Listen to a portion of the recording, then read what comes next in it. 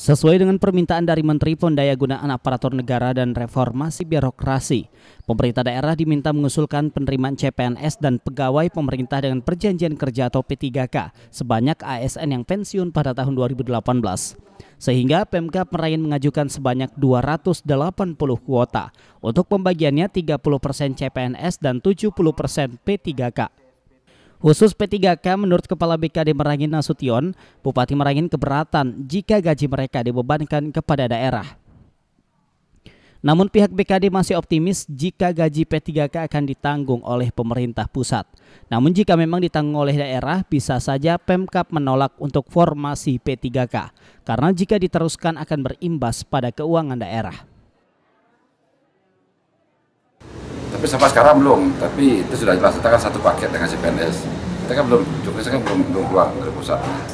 Nah, kita uh, ada permintaan bisa kirim semuanya pensiun.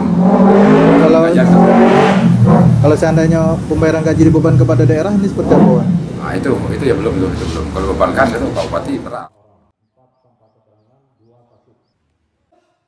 Lut Hidayat Ciambi TV